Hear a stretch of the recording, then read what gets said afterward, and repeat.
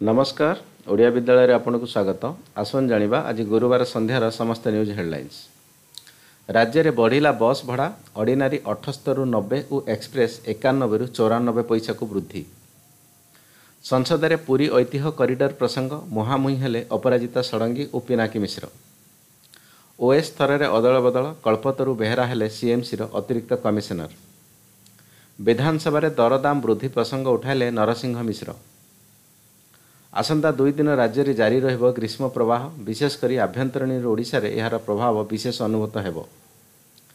Crime branch ହାତରେ ଲାଗିଲା ନୂଆ ସୋରାଗ ସ୍ପଟ୍କୁ ନେଇ ତଦନ୍ତ ଆରମ୍ଭ କରିଥିବା ସୂଚନା। ମାନସ ସ୍ୱାଇଁ ହତ୍ୟା ମାମଲା ଅଶ୍ଳୀଳ ସିନେମାରେ ନିରଞ୍ଜନ ହିରୋ ଥିଲେ। ବଲାଙ୍ଗୀରରେ ଅଭାବନୀୟ ଘଟଣା ଘର ଭିତରେ ଶାଶୁ ବୋହୂଙ୍କୁ ଗଳା କାଟି ବିଭତ୍ସ ହତ୍ୟା।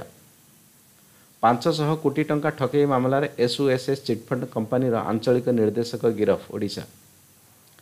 ରେକର୍ଡ କଲା ଏସିବି ସଫଳତାର ସହ ଶେଷ ହେଲା ଶହେତମ ଅସ୍ଥିମଜା ପ୍ରତିରୂପଣ କଟକ। ଜବତ ହେଲା ଦୁଇ କୁଇଣ୍ଟାଲ ଗଞ୍ଜେଇ ପୁଲିସକୁ ଦେଖି ଫେରାର ହେଲେ ଅଭିଯୁକ୍ତ ଫୁଲବାଣୀ। ଆଜି ରାତି ବାରଟାରୁ ମହଙ୍ଗା ହେବ ଜାତୀୟ ରାଜପଥରେ ଯାତ୍ରା। ଭାରତୀୟ ରାଷ୍ଟ୍ରୀୟ ରାଜପଥ ପ୍ରାଧିକରଣ ଟୋଲ୍ ଟ୍ୟାକ୍ସରେ ଦଶରୁ ପଞ୍ଚଷଠି ଟଙ୍କା ବଢ଼ାଇବାକୁ ନିଷ୍ପତ୍ତି ନେଇଛନ୍ତି ସରକାର। କେନ୍ଦ୍ର ସରକାରଙ୍କ ବଡ଼ ନିଷ୍ପତ୍ତି ତିନି ରାଜ୍ୟରୁ ହ୍ରାସ ହେବ ଆସ୍ଫା ଏପ୍ରିଲ ଏକରୁ କାର୍ଯ୍ୟକ୍ରମୀ ହେବା ନେଇ ଘୋଷଣା କଲେ ଅମିତ ଶାହା।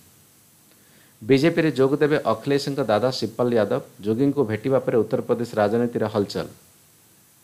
ପ୍ରଧାନମନ୍ତ୍ରୀ ନରେନ୍ଦ୍ର ମୋଦିଙ୍କ ଲୋକପ୍ରିୟତା ଲଗାତାର ବଢ଼ିବାରେ ଲାଗିଛି। ଦେଶରେ ଶହେ ସବୁଠାରୁ ଶକ୍ତିଶାଳୀ ଲୋକଙ୍କ ଲିଷ୍ଟରେ ସେ ଏବେ ଏକ ନମ୍ବର ସ୍ଥାନରେ ଅଛନ୍ତି। ନୀତିଶ କୁମାରଙ୍କୁ ରାଜ୍ୟସଭା ପଠାଇ ବିହାରରେ ନିଜ ମୁଖ୍ୟମନ୍ତ୍ରୀ ଦେବ ବିଜେପି ଜୋର ଧରିଲା ଚର୍ଚ୍ଚା। କେନ୍ଦ୍ର ସରକାରଙ୍କୁ ସୋନିଆଙ୍କ ସମାଲୋଚନା ଯେଉଁ ମନରେଗାକୁ ନେଇ ପରିହାସ କରାଯାଉଥିଲା ତାହା ଗରିବଙ୍କୁ ସାହାଯ୍ୟ କରୁଛି। ଆଜି ସୁଦ୍ଧା ପ୍ୟାନ୍ କାର୍ଡ଼ରେ ଆଧାର ଲିଙ୍କ ନ କଲେ ଦେବାକୁ ପଡ଼ିବ ଜରିମାନା। ଅବିବାହିତ ଝିଅ ପିତାମାତାଙ୍କଠାରୁ ବିବାହ ଖର୍ଚ୍ଚ ଦାବି କରିପାରିବ କହିଲେ ହାଇକୋର୍ଟ। ଆର୍ଥିକ ଓ ମାନବୀୟ ସଙ୍କଟରେ ସମ୍ମୁଖୀନ ହେଉଥିବା ଶ୍ରୀଲଙ୍କା ପାଖରେ ଆଉ ଡିଜେଲ ନାହିଁ। ସଲମାନ ଖାଁଙ୍କୁ ପୁଣି ଝଟକା ମାନହାନି ଆବେଦନକୁ ଖାରଜ କଲେ କୋର୍ଟ।